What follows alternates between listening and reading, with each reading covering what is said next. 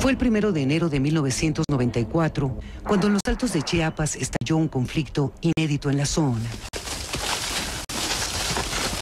Un levantamiento armado protagonizado por indígenas integrados al Ejército Zapatista de Liberación Nacional que decidieron declararle la guerra al gobierno mexicano. Se inició la guerra, la revolución, aquí en la ciudad de San Cristóbal de las Casas Chiapas. Damos a nuestras fuerzas militares del Ejército Zapatista de Liberación Nacional las siguientes órdenes. Primero, avanzar hacia la capital del país, venciendo al Ejército Federal Mexicano. Un grupo de hombres armados mantiene tomados cuatro municipios de Chiapas. Según sus voceros, en su mayoría son indígenas chiapanecos.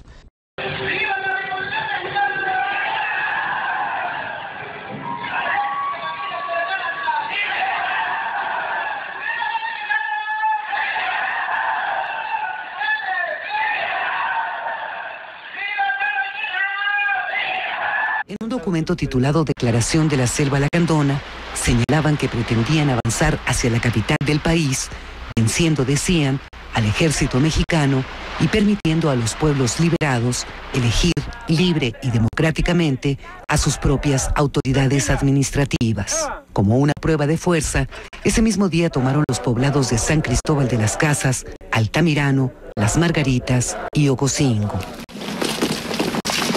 Los días 3 y 4 de enero retuvieron como prisionero de guerra al general Absalón Castellanos, ex gobernador del estado de Chiapas, y atacaron los cuarteles militares en San Cristóbal de las Casas y Rancho Nuevo.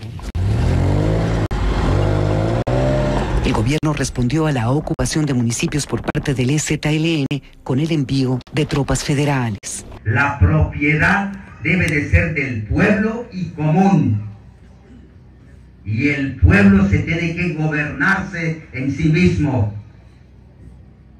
No necesitamos esos que están ahí. Ellos creen que saben todo. Un conflicto que se intentó destrabar desde distintas tribunas comenzando el 21 de febrero de 1994 en San Cristóbal de las Casas, con los llamados diálogos de paz que se suspendieron y reiniciaron en varias ocasiones sin alcanzar ningún resultado aceptable para ambas partes. En una segunda declaración de la Selva Lacandona, el EZLN señaló que el gobierno no atendió las principales exigencias de justicia, libertad y de democracia, por lo que hicieron un nuevo llamado a la resistencia, al tiempo que impulsaron la organización de la Convención Democrática Nacional con el fin de recabar propuestas para lo que dijeron sería la formación de un gobierno de transición. Hermanos, nosotros nacimos de la noche, en ella vivimos, moriremos en ella. Pero la luz será mañana para los más, para todos aquellos que hoy lloran la noche, para quienes se niega el día, para todos la luz, para todos todo.